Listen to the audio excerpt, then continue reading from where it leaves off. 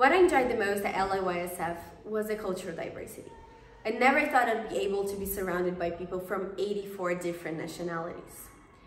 I learned about so many cultures and I showed my own culture to so many people.